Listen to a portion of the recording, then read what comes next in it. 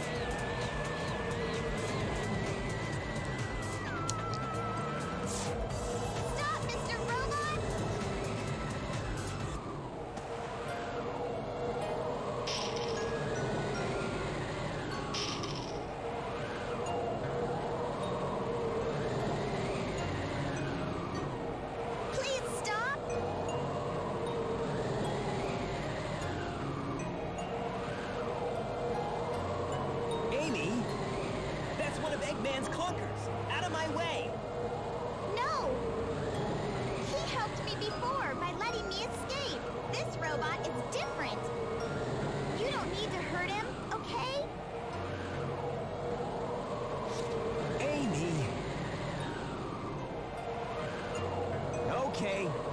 guess I'll let him go then.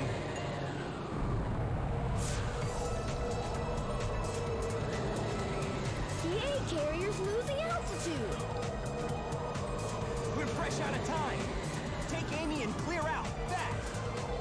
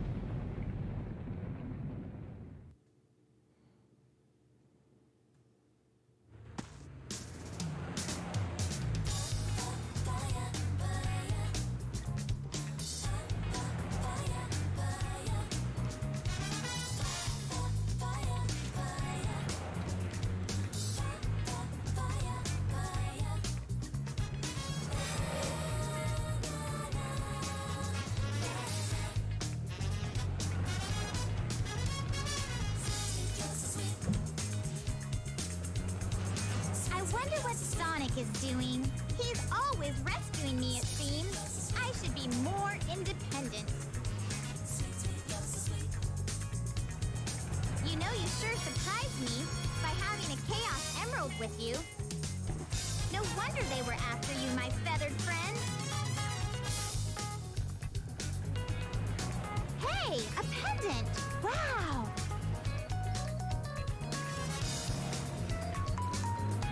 So I'll help you find your family. Does Eggman have them captured? active now?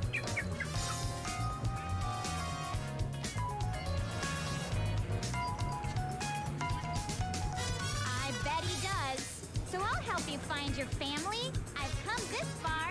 I may as well go all the way. That robot said Dr. Eggman's base is in the Mystic Ruins. So what do you say we check it out?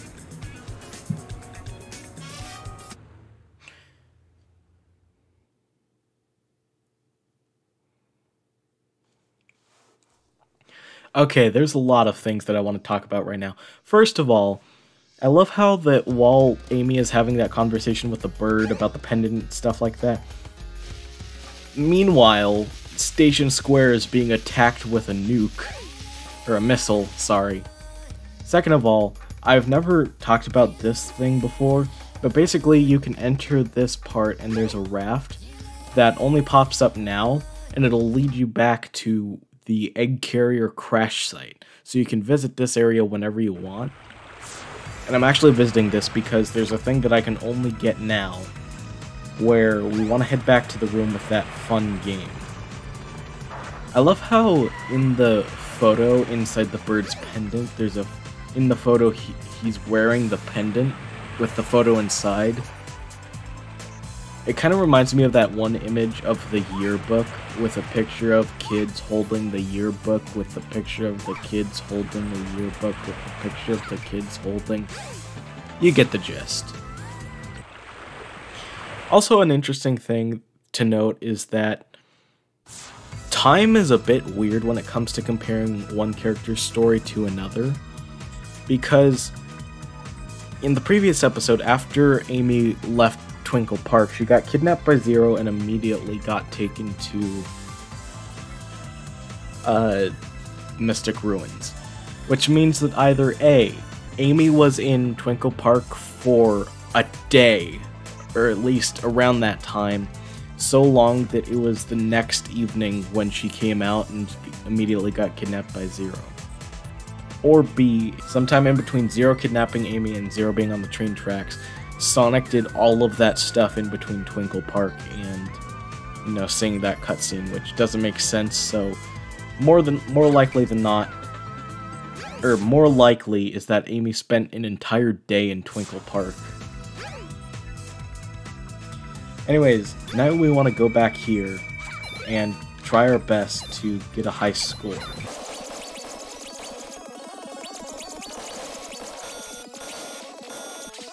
Wait, did I actually get that? Forget the exact score I need to get. Yes, I got it! Okay, if you get, I believe, at least 3,000 points on that, you get the long hammer. Here's the long hammer. Your attack radius is now increased. Try the spin hammer attack.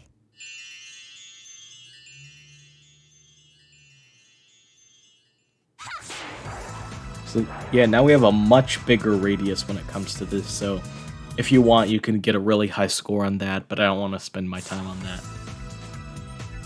Anyways, I'll go ahead and cut back to the Mystic Ruins. There we go. We're back on the raft to Mystic Ruins. Also, a thing to note is that you know that beach that's over in the center of Station Square? Well, on it, there's a dock, and there's actually a boat that also leads to the egg carrier. And to get to the stations, to get to Station Square from the egg carrier, you have to look for the boat on the opposite side of the egg carrier. I don't know how many times I just said egg carrier, but it was a lot. So we want to head to the the Eggman base over in the jungle over here. At least I believe. Is it the jungle or like the forest or something like that? Or am I just calling it something really weird? I really like the way this base looks though. Whatever it's called. Because I like all of the flashing lights. And I enjoy... I don't know how to describe it. Let me get over there so I can show you. I like... It looks like a small little city down there at the base of the base. I don't know, it just looks... I don't know if that's what it's supposed to look like, but it just looks like Eggman's really starting to make his promise to build Robotnik Land, and this is where he's starting to conquer the world.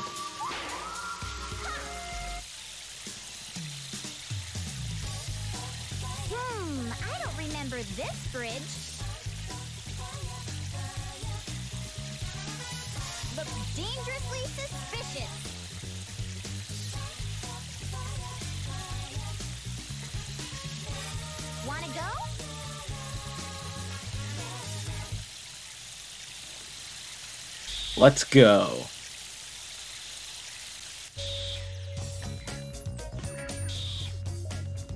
Of course, we've got everything in here now. And I believe we still have to do this puzzle over again with all of the buttons. Yeah. So I'll just do this again. Hopefully it won't take too long. Oh, I did it right. There we go. Welcome to the final egg. Which, funnily enough, isn't the final level.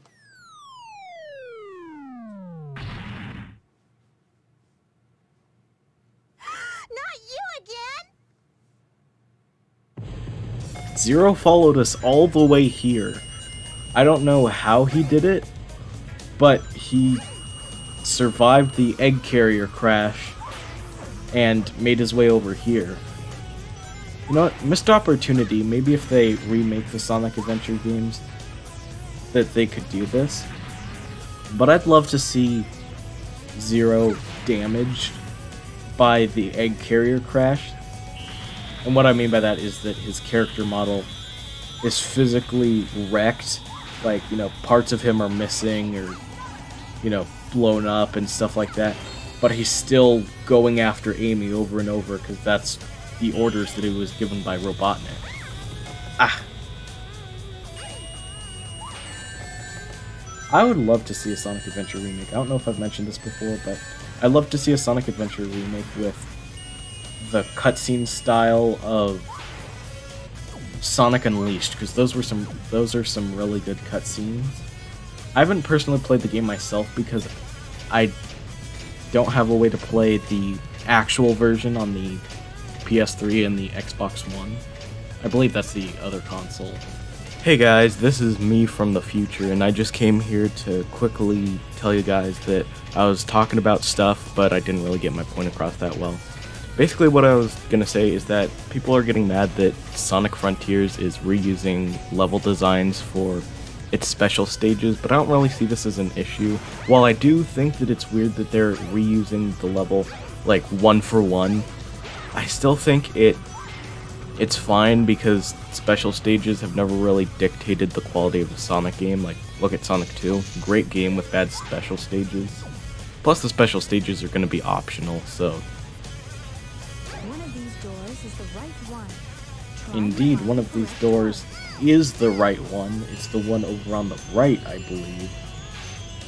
Or no, actually. Uh, I guess it's randomized. I never knew this. But yeah, I guess it's just randomized. And during one of my test playthroughs, I got it on the right. I, I had that pun prepared. I was like, it is the right one, but no, it was the second one to the right. Okay, we gotta use the hammer jump.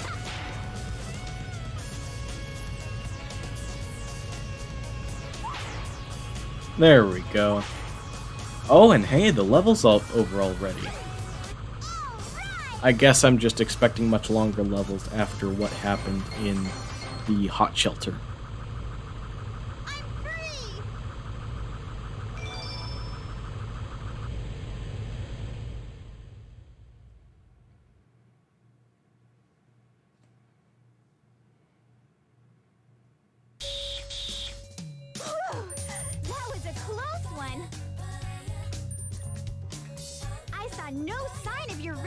Birdie.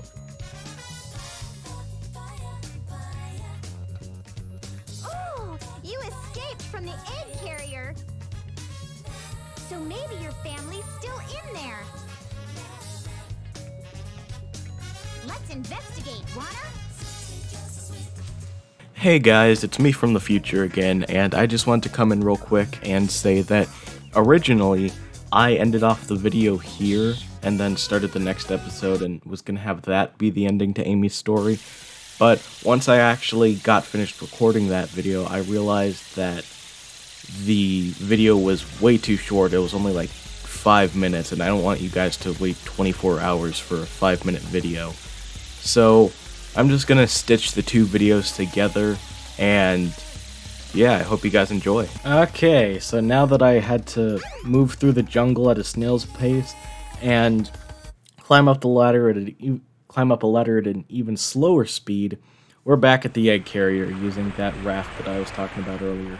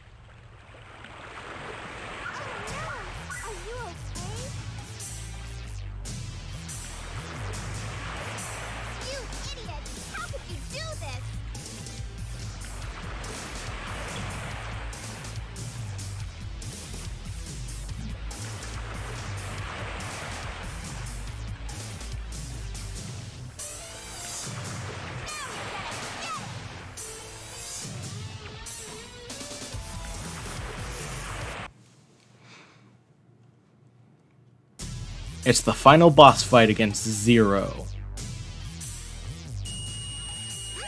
So now our goal is to. It's a pretty classic setup for a boss fight. We just gotta bump him into the edge. But, you know, not as good at games when I'm let's playing them, so.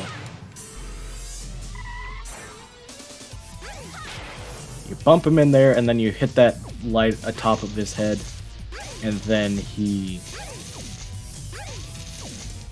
just starts jumping around.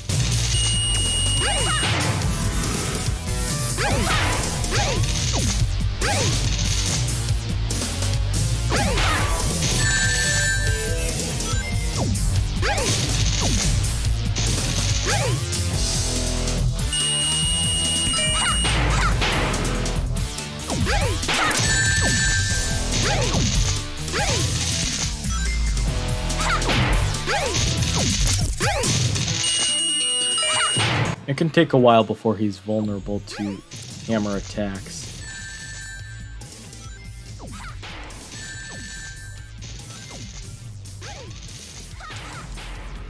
Finally, there we go.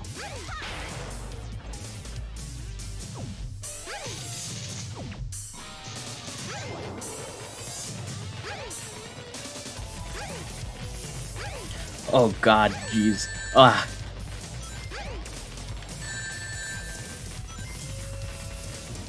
I'm not very good at that part. You gotta be very good. I think you have to go along with it as well. And that's the end of Zero. And also the end of Amy's story.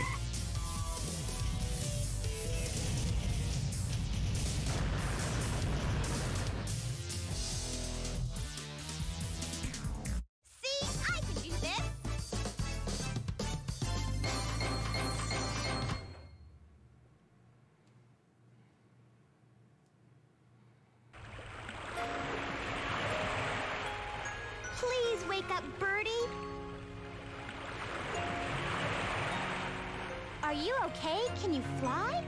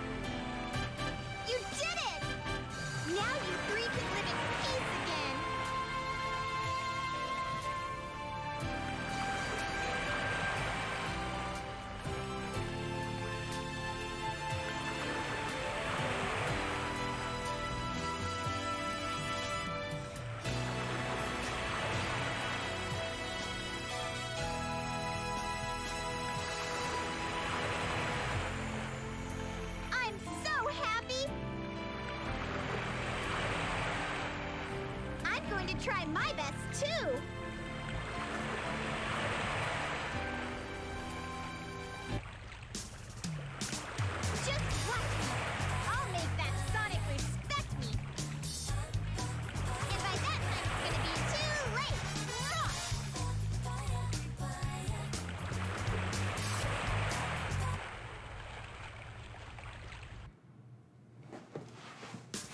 And that's the end of Amy's story.